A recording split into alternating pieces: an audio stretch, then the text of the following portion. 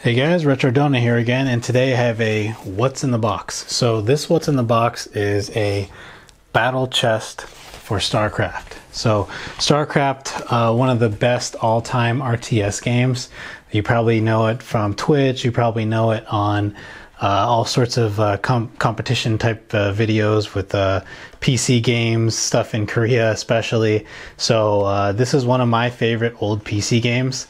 I remember playing this um, back in the 90s in my friend's uh, dad's real estate office. We would actually LAN and play StarCraft all night, like way throughout the night.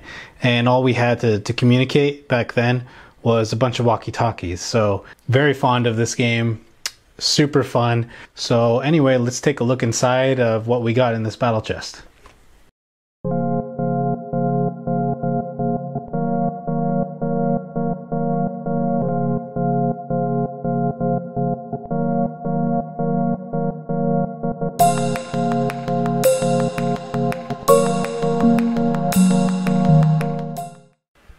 Guys, so here's the box, um, and let's go check out what's in the box.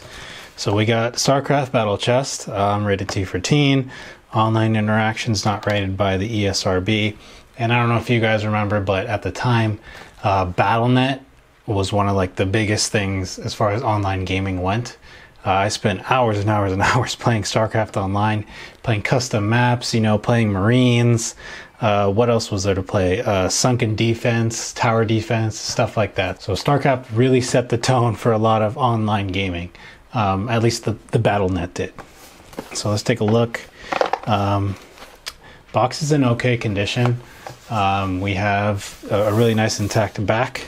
Um, and let's go ahead and take a look at the requirements. So Windows XP, Windows Vista. So you can tell that this was like a little bit of a newer version. Uh, the the original non-battle chest version probably didn't have the Windows XP and Windows Vista. I remember playing this on like a Windows 98 PC. So uh, let's go ahead and go through the specs. So Pentium 90 or equivalent, 16 megabytes of RAM, 1.3 gigabytes available hard drive space, two times CD-ROM drive, four times for cinematics, local bus, SVGA video card, DirectX 7.0 or better compatible, Microsoft compatible mouse, DirectX 7.0 or better compatible sound card for audio. I don't know about you guys, but sound cards are pretty much like a lost treasure, or at least I don't think anyone that I know buys a sound card anymore. So, kind of a funny thing to be listing on here. So, for the Macintosh and Macs, we got Mac OS X or 10, 10.3.9 or higher, PowerPC, 16 megabytes of RAM, 32 megabytes of RAM for multiplayer, 1.3 gigabytes available hard drive space, 2 times CD-ROM drive for gameplay, 4 times cinematics, monitor support for 256 colors at 640 by 480 resolution. Uh, pretty small resolution, but eh, it's an old game. Uh, multiplayer options: two players, two 28.8 ki- kilobytes or faster modem. Uh, wow, two to eight players. TCP slash IP network or battle.net requires low latency internet connection with support for 32 bit applications. So there you go. That's kind of telling you how and what you need to have for that BattleNet capability. So pretty cool, like I mentioned earlier. Um, anything else to go on over here? Kind of just a little bit of uh, agreements and stuff like that. Oh, it also says free access to battle.net. So yeah that's it for the requirements. So let's go ahead and dive in on the box art. So we got StarCraft and we got the expansion Brood War. Um, the only choices war, the only allies are enemies. Pretty awesome. Got some cool little screenshots here. Protoss carriers launch deadly drone interceptors. Uh, one of my favorite strategies was just massing a crap ton of drones, or a whole crap ton of carriers and then having the arbiter come and cloak everything. So you'd have this massive cloaked army and just envelop whoever's base you were attacking. Really fun strategy. Um, you got the Terran uh, mobile outpost here. Another version of it over here. This is the cinematic cinematic version. Um, we got awards, game of the year. uh, Interactive Academy of Arts and Sciences 97 to 98 award year. So, yeah, you can see that was a 90s game. Uh, five out of five stars, Computer Gaming World, one of the best selling PC games. And I'm sure a lot of you already are aware of that. So, official strategy guides is what's in the box. Intense internet competition, a few other things that talk about the BattleNet. So, let's go ahead and look and see what's actually in the box.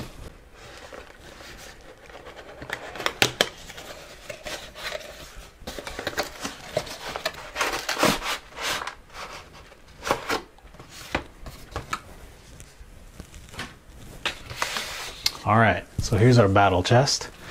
We got our official strategy guide for Brood War.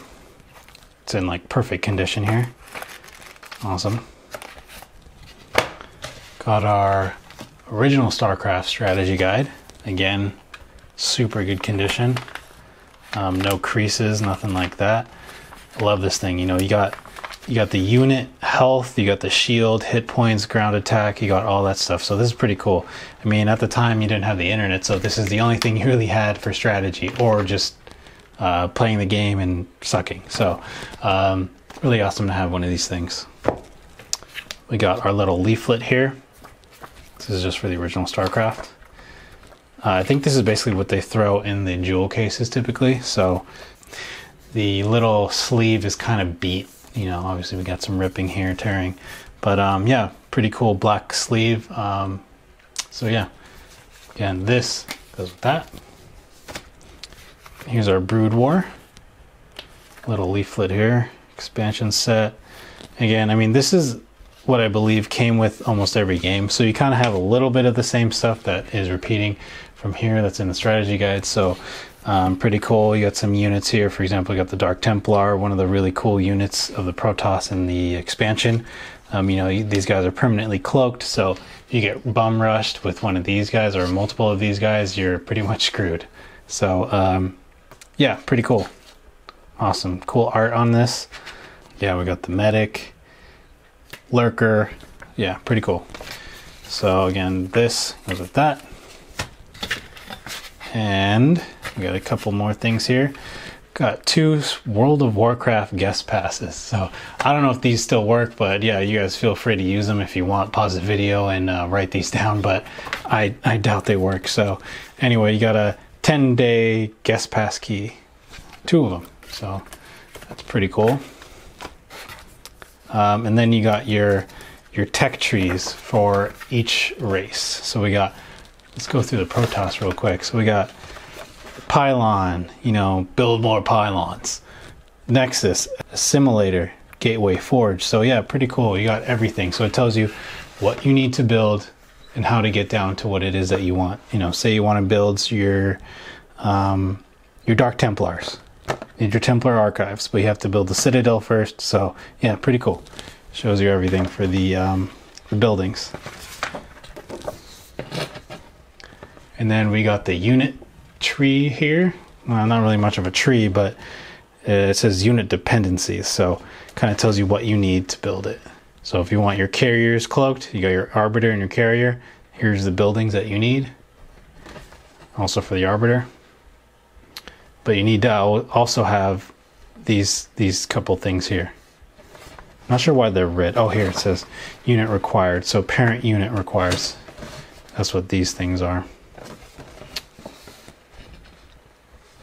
Kind of cool. Also says um, the little arrow here is where the actual unit is going to be prepared. Um, you see here, unit produced.